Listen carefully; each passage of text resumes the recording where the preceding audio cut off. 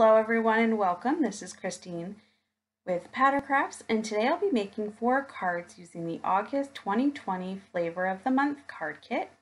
Here I have a sheet of the card sketches for the month of August. Each month Scrapping for Less puts together four card sketches. The design team uses those as inspiration to create with the kit. If you would like your own set, you can head on over to the Scrapping for Less website, hit the Downloads tab, and you can print off your own copy for this month or any of the previous months. This month is a little different. I do not have a reveal video. One of these stamp sets in the collection was replaced, and I don't think I, well, I have not yet received one of the banana split pieces and um, the video I had created before I made my cards just isn't going to be accurate, so I opted not to include it this month. My apologies. But we are going to make four cards with the with the kit and hopefully you can see what's here. There's also some really great photos. Um, so you can check all that out to see what you'll get in the kit this month. So for collection one, I am using sketch number three. I thought this would be most appropriate for my stamps. So usually what I do when I'm looking at the card sketches is I determine what stamp sets came in the kit and what one would go best with each sketch. So for sketch number four, it shows that the top and the bottom would be your card base. And I decided it was just too plain to be a card base. So I'm grabbing the Bubbles background stencil. That is part of the banana split pack for the month of August. So I went ahead and grabbed that and some peacock feathers distressing from my stash to add a little bit of design and interest to the top and bottom pieces. Now, of course, it wouldn't be me without trimming some kind of pattern paper a little short. So my original thought process of using the duckies didn't work because that piece was too short. And then when I put the striped piece on, it just was just a little shy from the card base, so I decided to take that excess off. The other two strips I'm using are just quarter inch thick. I added those on with some Tombow Mono glue and trimmed off the excess. Now, the fun part, we are going to stamp out the images that we are going to be using for the card. I don't show the coloring of any of the stamps in this video to save on time because it's already kind of lengthy showing the creation of four cards. But I do show the stamping right here. And I think this is the no, this might not be the only one I show in the video as far as stamping, but regardless, I have stamped out all of the images. They are colored, and I used my brother's ScanNCut to cut those out. Now, I did cut out the portion of the video where I had first put down the sentiment, and I didn't like it. So when I pulled it back up, I tore the pattern paper so this part here, you have me kind, you see me trying to figure out how to cover up that little bit of a rip. And in this video, unless you knew, like I, if I didn't tell you that that was a rip right there, you might not notice, but it's very noticeable in person. So I just fiddled with a bunch of different ways and then decided I was going to use the soap image I cover, I colored to cover it. So I'm adding the little bathtub with the rubber duckies with foam tape and I'm going to add the sentiment piece here. I stamped that out and added some peacock feathers all around it and I did end up having to trim it a little bit smaller because I didn't want it to be bigger than the tub. I want really want that tub to stand out. So I popped that up on some foam tape on one side and used liquid glue to adhere the other part to the tub. I've added two sets of bubbles, some enamel dots, and now I'm working on the inside of the card. Using the sentiment happy birthday from the stamp set, added the soap image, and now I'm just adding some blue-green Copic marker all around that sentiment. The sentiment was kind of small, so I just wanted to add a little something more to the inside of that card. Once that's done, I want my bubbles here to have a little dimension and sparkle, so we are adding some white Blizzard Nuvo glitter drops just to the bubbles outside of the tub. On the to the bubbles on the inside of the tub, I do end up adding not during the video, but later, I do add a little bit of the Spectrum Noir glitter brush to those bubbles. So for card number two, I'm using sketch number four. This little chicken cracks me up. Him and he is chewing on that bubble gum. So he's all colored up and ready to go. And the ephemera in this collection includes two pieces that tell a joke. So the first piece I'll use on the front of my card, and then I'm going to use the punchline piece on the inside. But right now we're going to get our pattern paper pieces together. This pattern paper definitely has a vintage feel and you could see from that blue piece that there's a lot of distressing that's already in the pattern paper. So to carry that along and make a nice edge for that oval piece, I did use some vintage photo distressing just to add along the edge. It will help it pop out on the flower paper here and I just thought it would be great to carry on that vintage feel, that little distress look. Here I am struggling hard with this pink ribbon and a bow. What I don't know what it is with me and bows. I just can't seem to figure out how to do it without using half a roll of, of ribbon. But we struggle. I am calling it a win, even if it's not exactly what I hoped for, but it's there. So we're going to go ahead and add the oval piece directly onto that cardstock and the chicken directly on the oval piece but we will pop up the first part of this joke uh, onto on some foam tape adding a few enamel dots and then we'll work on the inside and hop on over to my blog if you'd like to read what the joke says. I'll leave a link to my blog post that's associated with the card hop in the description below. So on the inside, I'm just, again, adding that little chicken. We'll add the inside piece um, for the punch line. I'm going to carry along that distressed look onto the edge of this white piece with, again, some more of that vintage photo distressing. I'm going to finish this card off with a little bit of glossy accents on that bubble gum and call that done.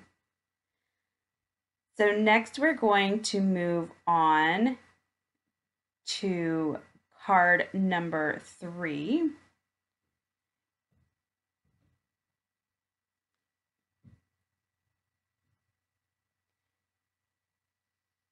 Must have forgotten to speed this part up because this is lasting an awful long time. Um, so moving on to card number three, I'm using sketch number one. My initial um, thought process for this was I was going to make this a shaker piece. And it's pretty much, I go through like it's a shaker piece until I have to add the sequins on the inside. But for right now, I'm cutting down my pattern paper as shown in the sketch. Got my main panel piece here, and then I'm going to use one of the um, it's like a really light blue with pink polka dots. I'm trying to bring some of the pink out because I'm going to use the enamel dots and I'm going to use the twine and those are pink. So I'm using the, it's, I think it's a light blue and a pink. That's, that's for my frame. So just use two squared eyes to make that frame. I've gone ahead and cut out this white piece to go underneath it so that I can stamp out the image with this little fish blowing out his birthday candle. So cute. Getting that placed on there so that I know where it will fit in my window. At this point, I also know I'm going to be adding a sentiment to that upper right hand corner. At this point, I haven't decided which sentiment I'm going to use, but I leave enough room um, for both of them. I do end up opting for this make a wish sentiment. I was so happy that I was able to cut this out with my brother's ScanNCut. I just had to connect all of the pieces so it would cut all around. And then once it did cut out, I erased all of those. And now we're coloring the wish part here with some pink Copic markers. Again, just trying to bring in pink in a lot of different places. I've already colored our little scene and that will be ready to go. I didn't do too much with what's around it because at this point it's still going to be a shaker card, right? So we are going to now add the foam tape to our window. These little foam strips are included in the banana split portion of the pack. So if you order the banana split or if you subscribe to the banana split level, you will get these little strips. These strips were actually really nice to use. I've used some other ones in the past that were super sticky and then it made it really hard to um, lay them down. But these ones were not, um, they definitely are uh, hold up. They just, my last experience was like uh, you couldn't, they stuck to your fingers. Like I just couldn't maneuver them. And um, these did not. So I really liked these. So this is kind of the point where I decide I really don't think I can make this a shaker card because I'm looking at these sequins, which come in the banana split portion of the card kit. And if I put them all in there, they're going to hang out in front of that really cool scene with the cake and him blowing the, the candle out. So I opt to make what I call a faux shaker card. so I adhered a bunch of sequins all around in that like watery space and around the fish. Um, and I don't add any more in there because that bottom scene, I really probably should have gone further up. So the seat, if the sequin sat down there, it wouldn't cover up that cake and stuff. But, you know, I was still really happy with how this piece came out. So now that that little window piece is done, I'm going to finish up my card. I'm wrapping some of the twine down at the bottom. And because of the thickness of it, I am going to pop this up on foam tape. So this is going to be a pretty thick card. So probably be one that I won't mail. It would be one that I would want to give to somebody directly just because we've got, you know, layer of foam tape here and we have our window, which is up on foam.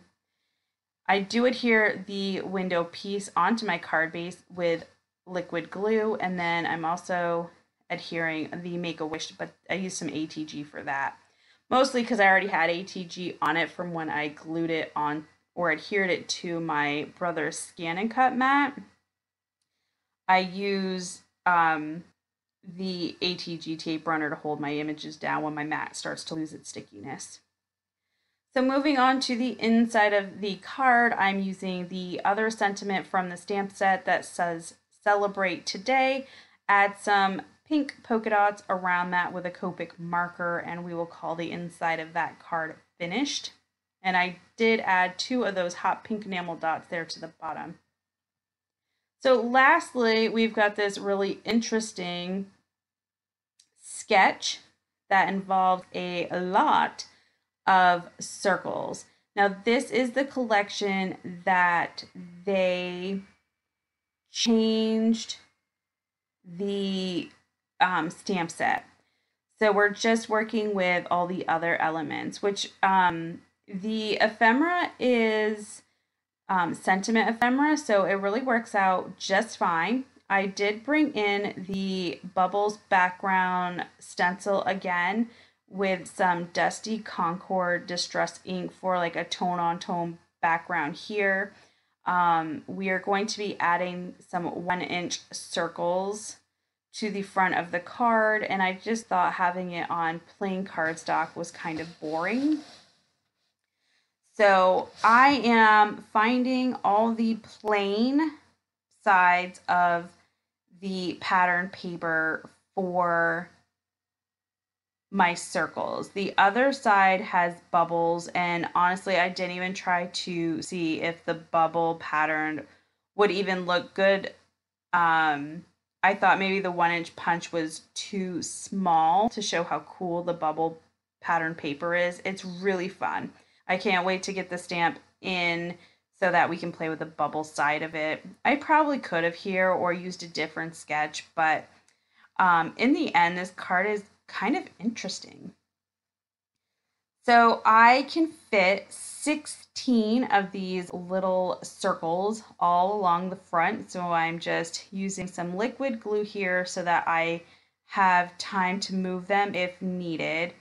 And I'm just kind of going around. I did not do any measuring. I just tried to eyeball to see if I could get a somewhat even distribution of all of these circles. Once those are all set, I'm going to take a look at the ephemera and I'm just kind of deciding what is going to go best. Um, I do opt for this one, this like little banner piece. I think it's going to fit best with how I've created my card. Once I put that on there, I decided though these bubbles were still a, a little boring. So I thought what I would do is make basically make them into bubbles. So I am using a white gel pen and adding highlights there to that right hand side on every single one of them. I was really pleased with how it came out and we'll add our banner sentiment right here. And then I use all the enamel dots that came in this collection on the front of this card. They were super cool. They were like a um, purpley clear um, glossy. They were really pretty. Just need to straighten out that sentiment a little bit. It looked like it was a little too much to the left. So to finish this card, I am cutting just some white cardstock, a little bit smaller than the card. I think it's four and three quarters by four and three quarters. And then we're going to add more of the uh, ephemera pieces here with some dots. So thank you so very much for joining me today. If you like this video, give it a thumbs up. If you'd like to see more, please hit that subscribe button. Don't forget to hop along with us in the blog hop. I'll leave a link in the description below. But until next time, everyone, have a great day. Bye.